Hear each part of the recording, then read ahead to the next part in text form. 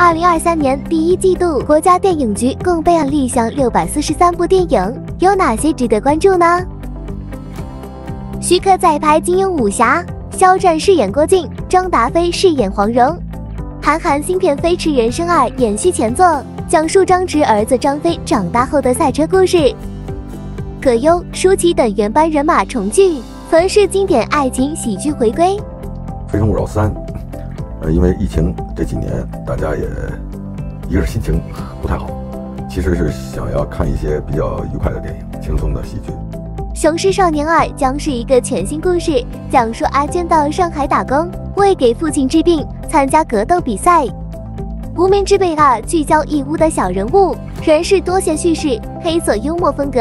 呃，有一个误会，好像说《无名之辈二》就是《无名之辈》的这个续集，但其实不是，它只是。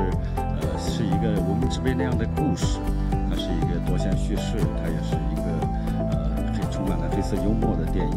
《爱情神话二》将是前作的平行篇，讲述单亲妈妈与邻居女孩的故事。《西游记之三界芭蕉扇》是郑宝瑞导演《西游记》系列电影的第四部，继《西游记》女儿国五年后再度归来。申奥执导，张艺兴、金晨主演，捕鱼之放手一搏，关注网络诈骗题材。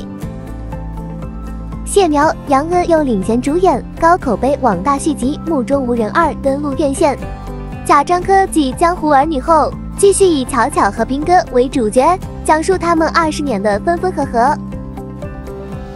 李玉刚跨界当导演，首部电影《云上的云》融入戏曲元素。特别，我希望这种东方美学的这样的一个电影，我要带到国外去。还有舒淇、梁家辉、张艺兴主演的《黎明时分见》。